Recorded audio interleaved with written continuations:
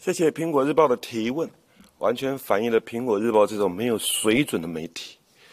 我谈的是大海、国家的发展、总统的领导、总统的派系被包围了、未来中华民国的前途。你跟我谈的是一个漱口杯的问题，问我的私生活。你为什么不问我初恋几岁？你为什么不问我结婚之前谈过几次恋爱？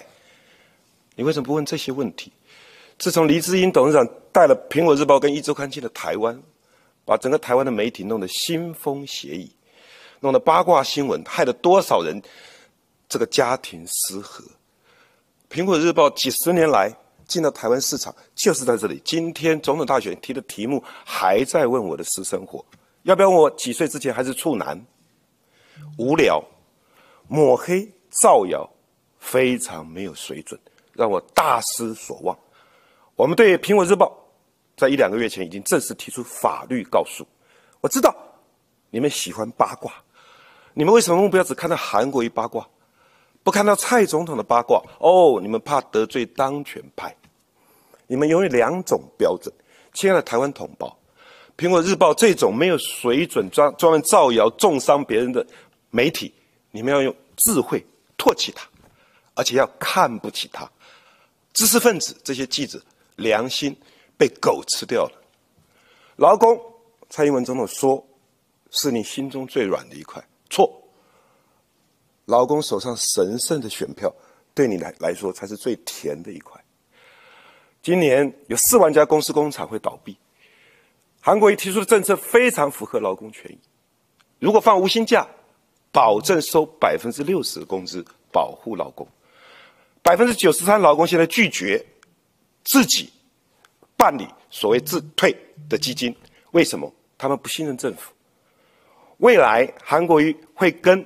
雇主、劳工本人，我们出百分之三，劳工出百分之三，雇主出百分之六，合起来百分之十二，存在你劳工的户头，每一年补助劳工一万零八百块。第三，劳工我们要考量，尽可能招商引资，带动这个大水库，整个台湾经济体起来之后，劳工的条件会有所改变。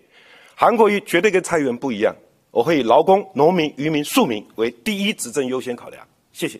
文女士回答两分半。谢谢主持人。呃，在回答您的问题之前，我先回答一下韩市长刚才提的读稿机的问题。我们三次的证件发表会，这一次的辩论会，你有看到读稿机了吗？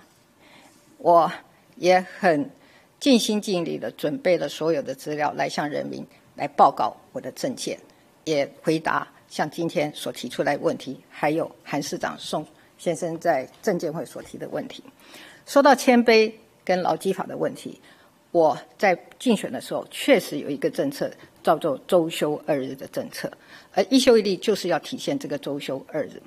我记得我们在立法院提案的时候，这个提案是有经过部会之间的讨论，而且是讨论过的。好，这个提案在当时我们是。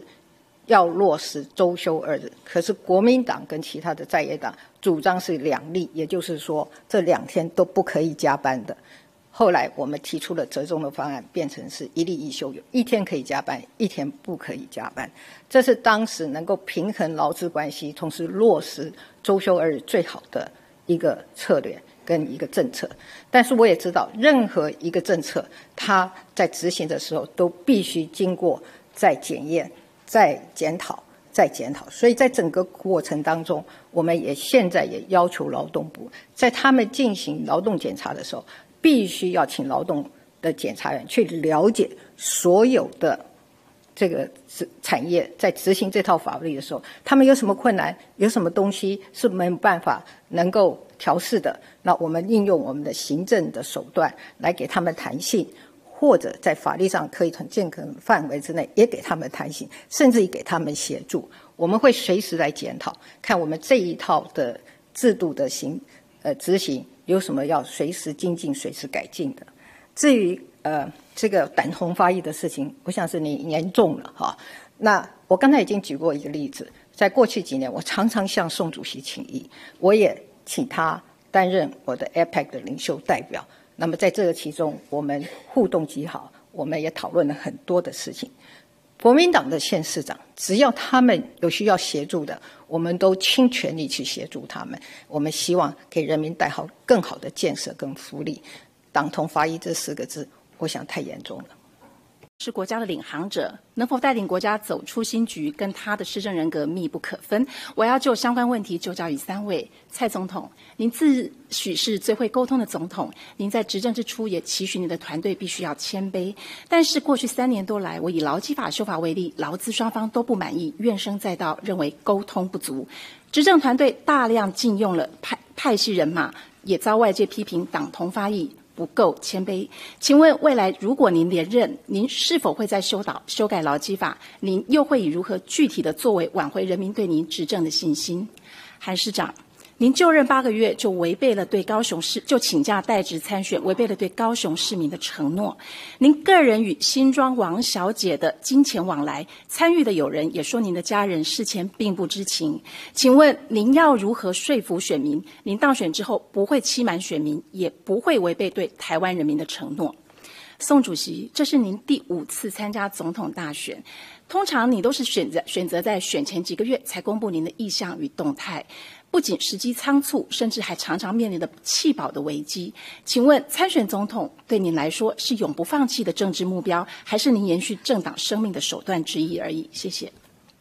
谢谢。我们先请宋楚瑜先生回答，两分半。您刚刚所提到的三个问题，我觉得我担任总统之后，我都会好好去处理。第一件事情，那就是。对于我们的劳基和一例一休的问题，很显然，不仅事先没有好好沟通，而且这些案子都是由单独立法委员去提出来，而没有经过行政院跨部会的讨论。因此，我主张将来应该是异业异法，我们重新要去检讨我们这个呃关于一例一休的问题。至于第二个问题，您提到的韩市长。就是我们必须要说，做人规规矩矩，做所做的承诺不能放弃。我做省长和做过去从政以来，我所做的承诺都说，我有一句话叫做“说得到，一定要做得到”。第三，你谈到我参选的时机比较晚，严格讲起来，我必须要对我的整体。形势要有所了解。我看到国民党和民进党所提出的候选人，坦白讲，让人民不放心。你可以看到一个民调，啊，非常有意思，百分之二十的人很怕蔡总统继续连任，而百分之四十的人又非常怕我们韩市长会当选。而对于宋楚瑜的好感。和相信度，却是最高的。在这种情况之下，当仁不让，能够把四十四年来对于国际、对于两岸、对于我们内部的沟通协调，像你刚刚所说的，我跟跨党派所有的这些我们不同意见的人，和我在执政的时候跟不同政党的这些。我们的县市长是非常能够了解。我只讲过一句话，那就是我们可以有不同的过去，但是我们却有共同的未来，因为我们都了解我们共同的价值是守护台湾的民主。谢谢您提醒我，下次要选或者做任何事，早点让大家知道。